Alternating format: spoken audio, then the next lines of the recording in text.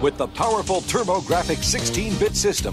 I'm really glad to see a lot of new interest in the TurboGrafx and PC Engine games emerging over the last few years, but one question that I'm getting a lot is what is the best way to get into the system? What are the best ways to play these games, whether it be TurboGrafx or PC Engine? So I guess now's probably as good a time as any to try to demystify this space a little bit. Maybe I can use some of the knowledge that I've gained over the past couple of decades and highlight some of the more practical ways to get into the TurboGrafx and PC Engine library, at least as they stand right now in 2024. I don't know why I checked the time to see what year it was, so I'm not going to go super in depth with any one thing here, but I am going to do my best to sort of give you the broad strokes of all the options that are out there sort of give you the, give you the lay of the land, give you the pros and the cons, and give you as good an idea as I can of the different paths that you can take.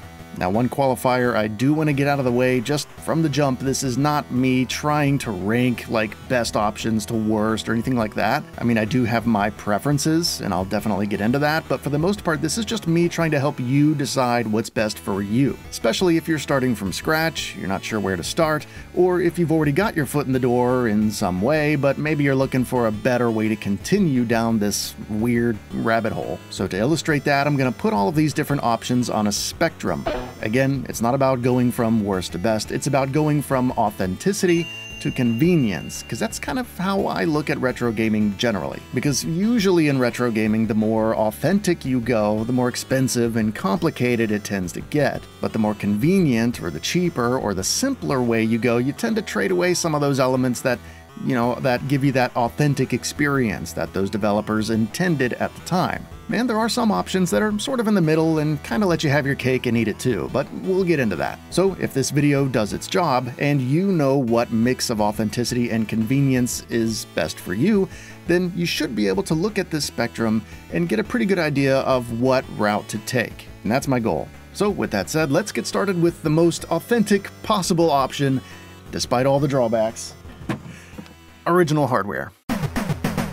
Now, the pros with original hardware are, of course, you're getting the real authentic experience. All the games, the controllers, the feel, the sound, the colors, the visuals. Potatoes, tomatoes. Everything is going to be how the developer made the game. This is the way it's supposed to be played in a perfect world. However, we do not live in a perfect world, and there's a lot of drawbacks with going with original hardware in the year of our Lord 2024. One of them, of course, is that this is very expensive to do. No matter what variant you go with, no matter if it's PC Engine or TurboGrafx or the Duo or the Shuttle or the Turbo Express. I mean, there's no way around it. This is an expensive way to go. Another thing to consider is that the card slots on all of the systems are all region locked, so a PC Engine card slot will only play PC Engine games. A TurboGrafx card slot will only play TurboGrafx games. Now, there are converters you can buy Again, you know, these are not cheap. They're not super easy to find these days. They're not as easy as they used to be anyway. They range eh, from 50, 60 bucks to, you know, 200. I don't know why.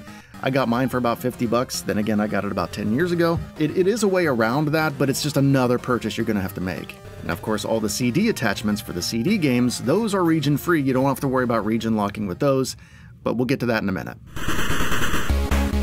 Another thing you need to think about when it comes to original hardware is the general maintenance and the repairs. Any video game console that's 30 plus years old like this, it's either going to need repaired now or it's going to need repaired soon. You're going to need recaps, you're going to need maybe mods. It's just something you're going to need to focus on. You're going to need to set money aside, set time aside to keep these things running correctly and keep them in good shape. Another thing you need to think about is that they put out um, an RF signal right here that is what you're stuck with in terms of audio and video.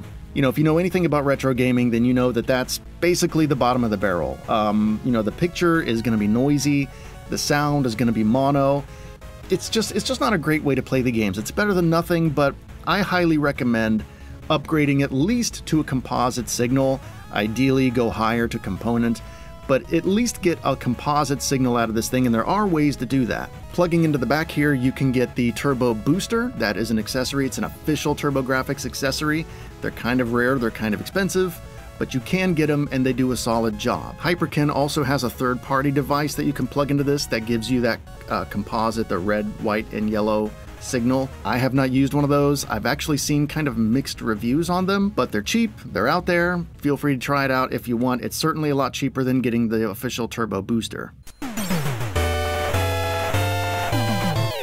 Now, the next step up from a composite signal, at least, you know, depending on how you look at it, is this HDMI adapter. Now, this is something, there's a few different companies that make essentially equivalents to this. Now, the reason I went with the pound variant of this and not any of the other ones is because the pound version, the HDMI uh, portion of it is removable. You can swap out your own HDMI cable, which I find that pretty valuable because the other ones, the HDMI cable is hardwired into that box.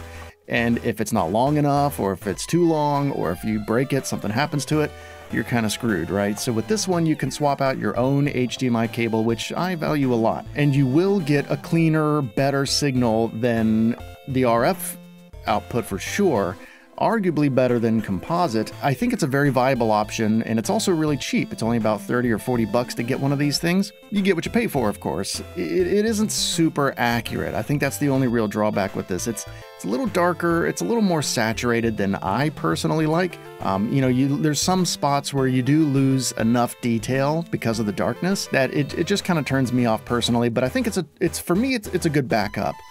Um, and if you have no frame of reference of what you know games look like, and again, if you're not super worried about being super accurate, you just want an easy, no fuss way to get your turbo hooked up to your TV. Don't feel bad about doing it. You know, whatever, it's fine. However, for me, I did want something a little bit more accurate. So what I wound up with is one of these breakout boards that give you the component output, and I think you also get composite. Yeah, you get composite as well if you want it. I don't know which one to recommend to you honestly because the eBay account that I bought this from no longer exists, and I don't remember what it's called, so I don't know what to tell you. But there's a lot of these out there. The prices range usually around 50 bucks or so. If it's any cheaper than 30 or 40 dollars, I would say maybe just don't get it.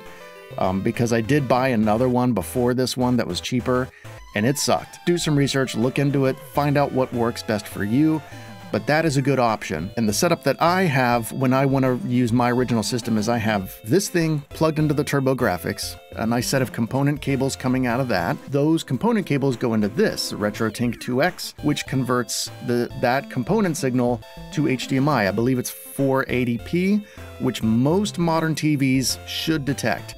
We might get to a point down the road where they don't, but at this point, most of them do. it's not a cheap way to go about it, but it does work, and in my opinion, it's worth the money for that clearer, more accurate representation of the game. It does create kind of a mess. You know, yourself, I have component cable, I have an HDMI cable, I have those two adapters. It's a little bit unsightly, um, but it does produce a virtually lag free sort of experience, and um, to me, I, I, feel like it was worth doing. Now, there's other ways to take advantage of that RGB signal as well. There's SCART, there's uh, open source scan converters, there's a lot of other things too, I think. But the, these are the two methods that I'm familiar with, and those are the two that, depending on your price range and what's important for you, I think one of those two methods should appeal to most people. Buy TurboGrafx 16 now and get one of 38 selected games free. Now, in terms of the games themselves, again, there's a few ways to go. You can always buy the games outright. I mean, that's the authentic way to go about it, right? If you're doing original hardware, your instinct is probably going to be to get original games whenever you can. And that's totally fine, but this is going to be the single most expensive part of your journey, without a doubt. A lot of these games nowadays, they cost a small fortune. There's just no way around it. Everyone knows they're valuable. No game store, no eBay listing. No one is going to sell you Soldier Blade for 50 bucks. You know, you're not going to find Air Zonk for 50 bucks or you know these games are hundreds of dollars now of course not every game's expensive you can get Pac-Land you can get Deep Blue games like China Warrior some of the more common games and some of the kind of middling quality games yeah, you can get these games for 20, 30 bucks still, you know, if you shop around a little bit. But the better games, especially the better shooters, it's, I mean, I just don't, mm, it's pushing it. So some of these alternative solutions, I think, are probably the better way to go for most people. Um, and the two big ones are the Turbo EverDrive Pro, which is essentially a souped up EverDrive that has CD games on it as well as card games from all regions.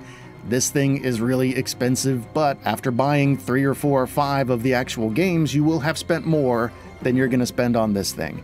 So, you know, if you look at it that way, I think this is worth doing. It, once you get it, you're done. You know, you don't have to buy any more games unless you just want to, but you don't have to. You have access to the whole library and you'll just be done. There's also the Super SD System 3, which is a terrible name, but also is an appealing option. Um, these devices, they plug into the back of the system like those video adapters do, which means, of course, they're not compatible with the variants of the system that don't have those ports, namely the Duo. You know, the Super SD System 3 is not going to work on a Duo. So if you get a Duo, you can't get that. You have to get the Turbo EverDrive Pro if you want that sort of EverDrive style experience. Um, and these EverDrives and the Super SD System 3, these methods give you access to those games without needing the Super System cards or the CD attachments, which is great because those are also a whole nother ball of wax. There's a few different variations of the CD attachment for the variations of the base consoles themselves, um, and there's super system cards that you're going to need to run most of the CD games if you're going with the attachment. You know, if you're going with that method, you'll need super system cards as well. I do not recommend going this route, mostly because these CD add-on units, it's just another thing. It's another expensive, rare, aging piece of hardware that's going to need to be maintained, repaired, uh, it's just a it's a whole nother thing to maintain on top of the base console itself. I mean, by the time you get the base console up and running, the CD unit up and running, a couple of games, I mean, you're going to be out a grand easily by the time you just just getting started. You're going to be out around a grand or so. And you know, and of course that's not counting the super system cards which are also rare, also hard to find, also expensive. And with the other options out there which we're going to discuss, I just don't really think that this route is worth it anymore. Um, unless you're just a big time collector and you just like to have them for the sake of having them. Obviously, you know, if, if that's the appealing part of it to you, then by all means go with God. Um, but in terms of it being a practical way to go about it, this is one of the maybe the least practical thing to do. Which brings me to a point about the Duo. I think the Duo, if you are going to go original hardware, is probably the most practical way to go about it. You know, the Duo is the CD, the region free CD unit, and the region locked card unit together in one console. It's a simple, clean way to have everything together. It's one system, so yeah, I still recommend getting everything recapped and getting everything cleaned up and fixed up, but it is a cleaner way to do it, and they output that composite signal natively, so you can totally bypass that whole RF problem and you know the video upscalers and all that stuff if you want. I'm not a composite hater like some people are. I think composite is generally acceptable, especially if you're playing on a CRT television. Um, and of course, needing the converter for the Duo because the card slots are still region locked. Even with all that, though, I still think the Duo is probably the way to go if you're going to do original hardware. So, bottom line with original hardware is yes, this is this is a fun way to go. There's a collecting aspect to it that's really fun, and if you're a tinkerer, Lord knows you're going to have your hands full with things to tinker with. I mean, there is there's a lot of value going this route. Um, but it's just, you know, if you just want to play the games, at this point, it's so expensive, it's so complicated, there's so many ins and outs, there's so many compatibility issues, no matter what route you take, it's just kind of a minefield. And um, unless you're there for the minefield, I think original hardware at this point, overall, it's more trouble than it's worth. I, I generally don't recommend it to most people at this point in time. All right, next, let's talk about the Analogue Duo. I think this is a great option overall. I do have a full review on this thing on the channel, so if you want more of a deep dive, feel free to check that out. Although you really need to hear what I have to say here as well, because there are some updates to the situation. First of all, though, the main thing is that compatibility is excellent. Every game I have that I've thrown at this thing, it ran it fine cards from every region, CD games from every region, burned games from different types of discs. Um, the only issue that I did have with it, and I talk about it in my review, is that the sound effects for a lot of the Turbo card games were a little bit funky, a little bit weird. Sounded like maybe one of the sound channels was either peaking or maybe it was too low. I don't know. But it was definitely off. And um, so they've released 1.3, the new firmware, the current firmware, as of making this. That fixes that sound issue as far as I can tell, it is gone, it is fixed. It also added save states uh, for the card games, not for the CD games, but for the card games you have save states, which is cool. Although I don't necessarily require that personally, but that is, you know, that's that's a plus in, in the column for the Analogue Duo for sure. There's also a jailbreak for this thing. Of course, Analogue didn't release it, somebody else released it. You can get a jailbreak, you can put ROMs and everything on the, uh, the SD card, pop it in, and just be done. You can do that, including CD games. It does work. I tried it, it works. However, there is a catch with it because when I put the jailbreak on, after having the firmware update, the audio issues of the original 1.0 version of the firmware, those came back. So you kind of you have to choose between the sound effects being correct or the jailbreak at this point. So that's unfortunate, but that's not Analogue's fault. You know, it's not really their job to put out a jailbreak. Plus, you know, if you get an EverDrive or something in there, you don't need the jailbreak anyway, right? So I chose to just have the 1.3 firmware. I took the jailbreak off. I put the firmware back on. So, bottom line for the Analogue Duo, no, it's not quite as great as I was hoping it would be, especially at release, but it's pretty close. I mean, and for the price, which is about, you know, I think it's 250 bucks before taxes and before shipping. It ain't cheap, but it's a lot cheaper than getting a, a uh, you know an OG Duo and getting it fixed up, and it's a whole lot cheaper than getting an original console and a CD attachment and getting them fixed up and ready. Any controller I have, my DualShock 4, my 8BitDo controller, my original controllers, all of them work. You have to go into pass-through mode for the original controllers to work, but the point is they all work. It's simple, it's clean, there's not a bunch of adapters and cables and, you know, converters and crap everywhere. Runs everything you throw at it. So given that mix of elements, I put the Analogue Duo right in the middle of that spectrum. It's got a good mix of authenticity, it's got a good mix of convenience.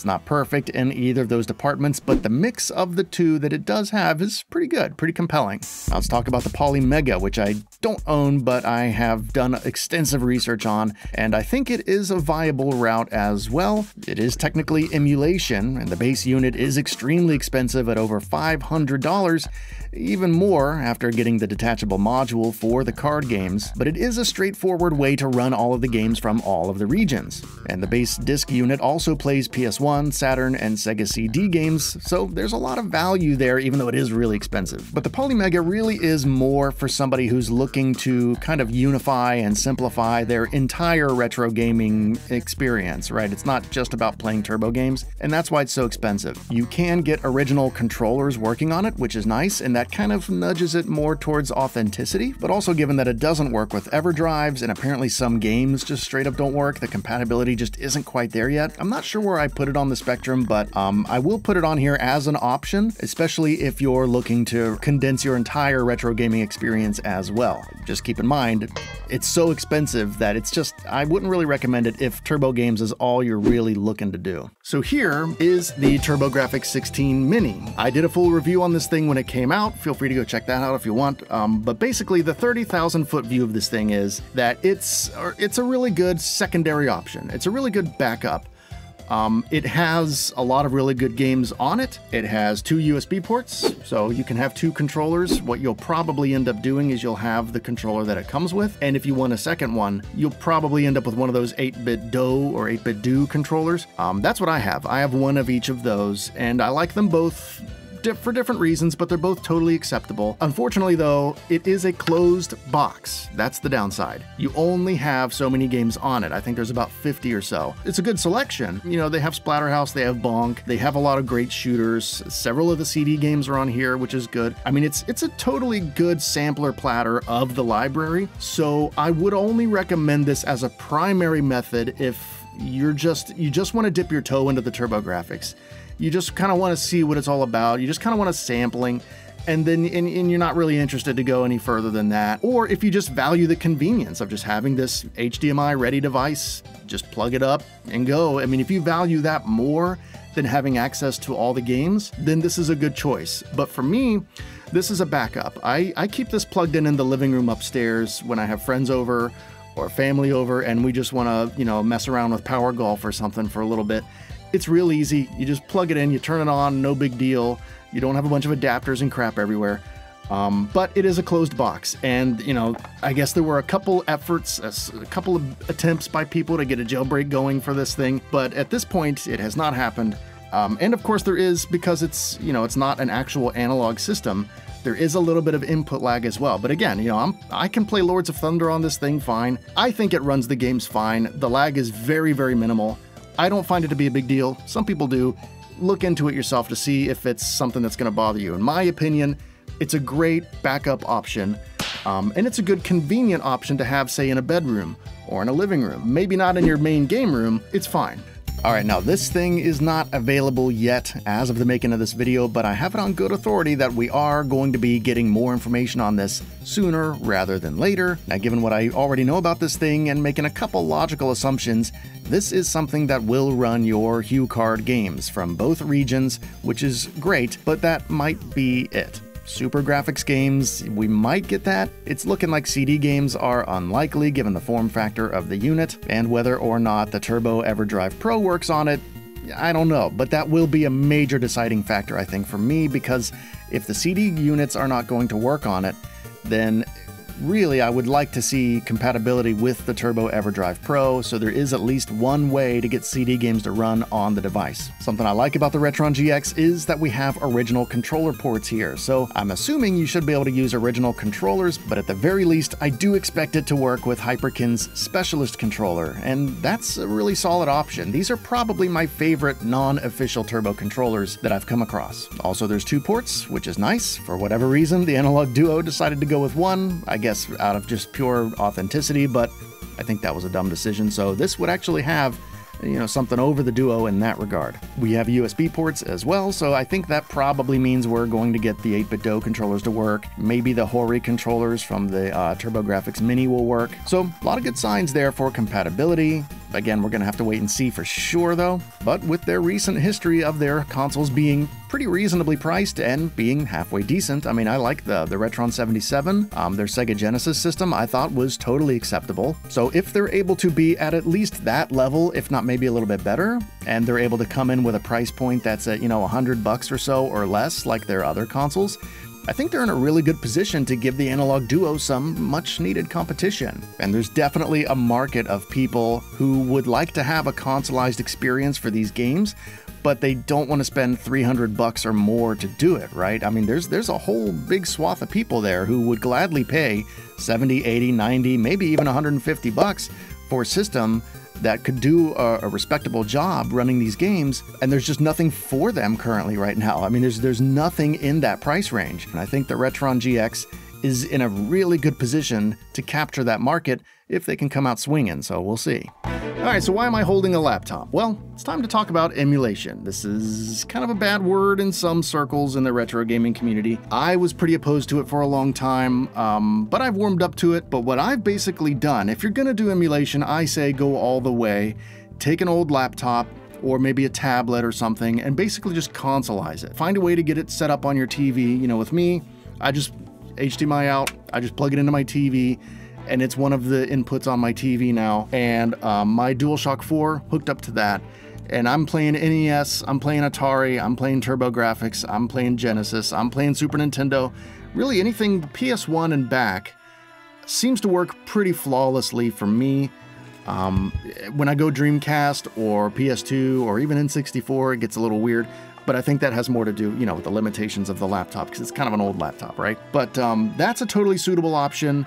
It's, of course, other than buying the laptop and the Mayflash adapter and, you know, a controller, which you probably already have, it's basically free to do. It's a little bit of a pain in the butt to get set up, of course, but it is all the way on, at the convenient end of the spectrum simply because it's free and you can do it right now. You know, the way the games play and the way the games sound, yeah, it's not quite it's not quite as good as maybe the Analogue Duo or original hardware, but it is really, really, really close. I mean, I, have got RetroArch, I think version 16 on this laptop. I have all my cores updated. I have everything updated. I have everything. I have a lot of settings that have been tweaked. I have hard GPU sync turned on, which doesn't eliminate lag, but it drastically reduces it. You know, this it's almost a primary method. I wouldn't quite go that way though for most people because I think if you're going to play TurboGrafx games and PC Engine games, I think it's it's it's worth a little bit more of your investment than just emulating it for free. And of course, you know, instead of doing the laptop, you could do a RetroPie. That's another thing that I'm sure, you know, people are sitting like this waiting to say it in the comments. Um, also, Misters, that's a whole nother can of worms that I really, I need to be more familiar with that. Um, but from what I understand, they're a little bit more of an FPGA style method, similar to the Analogue Duo, where it's more about emulating the hardware rather than the software, but it, it, gives you a similar result, right? You get a little device, you can run all the games from that straight to your TV or your computer monitor or whatever, and that is a viable option. You know, a few hundred bucks down, you, you can get you started. And, you know, it's it's like any of these options. They're all rabbit holes. You know, if, if you want them to be rabbit holes, you know, the more you dig into them, the more there is to discover. Um, but for me, just throwing RetroArch on an old laptop and basically consoleizing it, that's it's it's a really fun option and it works. Okay, so that's more or less the long and short of different ways to get into the TurboGrafx and PC Engine library, and my overall thoughts on this ecosystem are still kind of mixed, honestly. I'm a little bit disappointed that there is no one option that I feel like checks all the boxes yet. Even after all this time, we're still not quite there with a definitive sort of blanket solution. But on the other hand, we do have several compelling options that have a lot of strong points. And I think we're we're very close to to an overall blanket solution with the Analogue Duo here. Um, although I would still argue it's not quite there. So while there isn't really a clear, sort of objective winner and everything sort of has its drawbacks, there's enough out there that I think most people who want to get into this library should be able to find a way that they'll have fun with and is accessible to them. You know, for me, the Analogue Duo is, is a good mix for me. That's a compelling mix for me. It lets me play my original games, it lets me use my original controller, and it lets me sit on the couch and look at the TV and, and have a pretty, you know, authentic retro gaming experience without, you know, the fuss and the, you know, all of the nonsense of adapters and cables and converters and shit everywhere. But let me know what method you prefer and why. I'm really interested because I know there's a lot of different schools of thought on this and there's a lot of different opinions. Um, so, you know, let's keep the conversation going. I'm looking forward to seeing where this ecosystem heads in the future. I think, you know, it's been a slow climb to get where we're at. Um, but I think we are going in the right direction. I think that's something we can all agree on. We're definitely heading in the right direction. So, as always, thanks for watching. I forgot the Pioneer LaserActive.